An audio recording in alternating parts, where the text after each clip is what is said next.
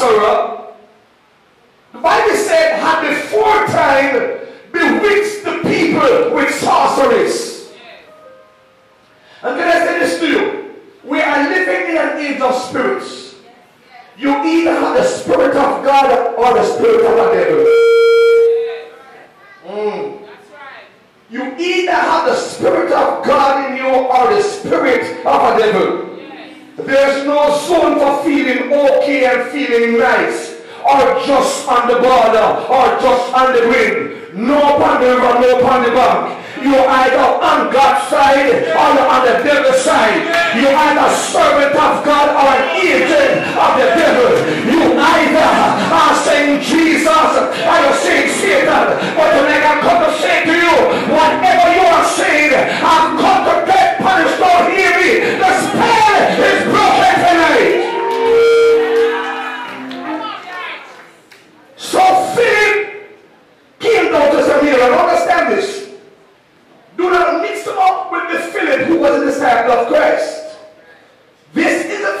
will see over in, in, in, in, in, in, Acts 7, who was not Acts 6, sorry, who was numbered among the seven deacons that the apostles selected. The Bible said the church was growing, and so people were making a lot of noise about welfare and all that stuff. And, and the apostles got together. The Bible says, and the twelve got together and said to the multitude of disciples, Look among yourselves and choose seven men. Everybody says seven men. Come on, say seven men. Yeah, seven simply means it's God's perfect number. They chose seven men, not women. Men, everybody say men. Come on, say God looking for men. God looking for men. Men, men. And why seven? Because seven is the number of completion. It's God's perfect number. Six is the number of man. Man has to resign himself so that God can begin to lead him. So Philip was numbered among the seven. Understand this. That I, I did some exegesis tonight, and this is just how, how, I, how I do scripture.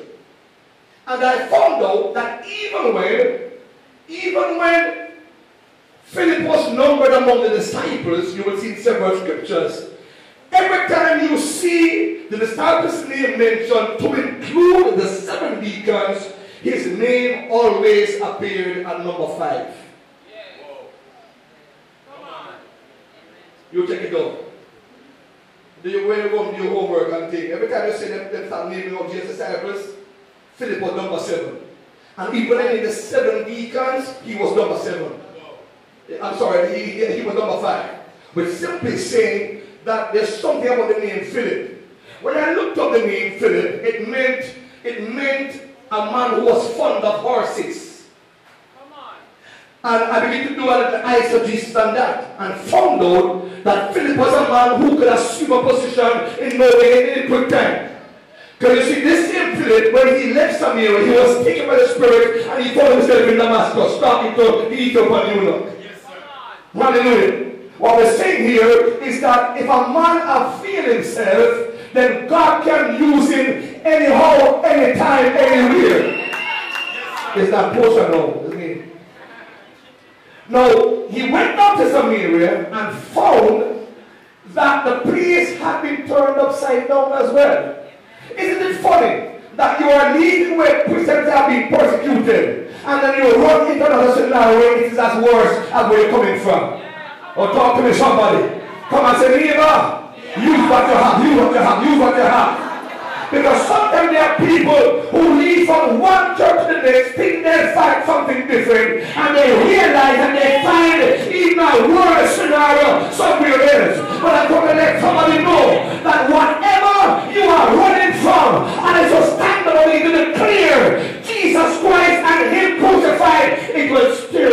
you. He's running away from the persecution that went on in Jerusalem. And he went down this Samaria and found that the place had been bewitched by a sorcery and a witchcraft.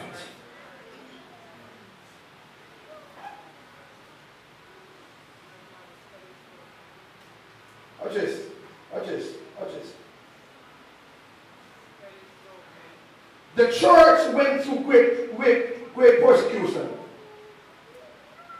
And as I said earlier, it is when the church is persecuted that she begins to move and rely on God even more. Some of us understand this. I want to bring this down quickly before I begin to move and holler here tonight.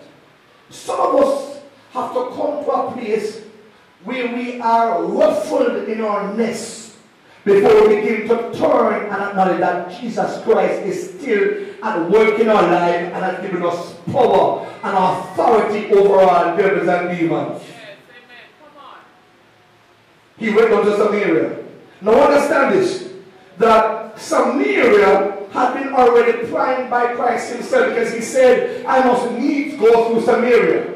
He went woman at the well, and, and you, you, know the story of that when he went, when he went back in the city and brought all the men who she ever did marry and everybody else said, Come see a Christ because he told me everything I ever did.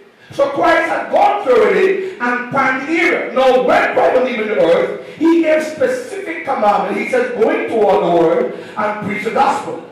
And then he said to them, Be witnesses unto me first where?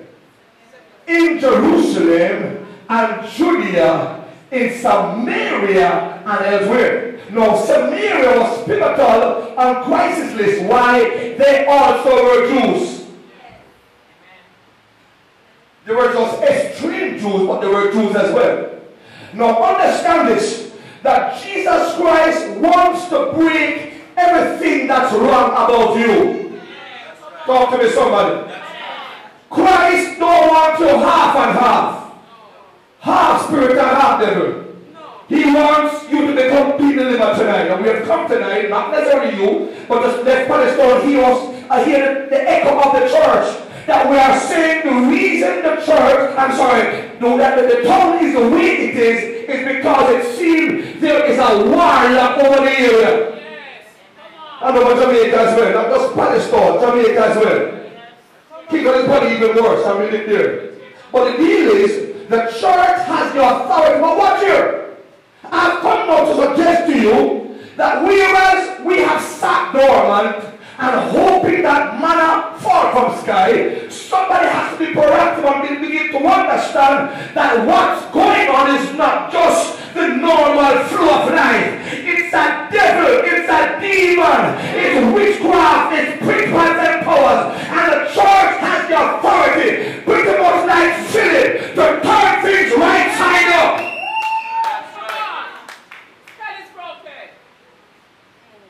One man. One man walked into an area. The Bible says when he came preaching, he came preaching one simple doctrine, the doctrine of Jesus Christ. We don't know much about this Philip, except that we see him preaching in Samaria here and then going down to start the Ethiopian eunuch shortly after. What we do know is that the Bible refers to him as one of the deacons, certainly.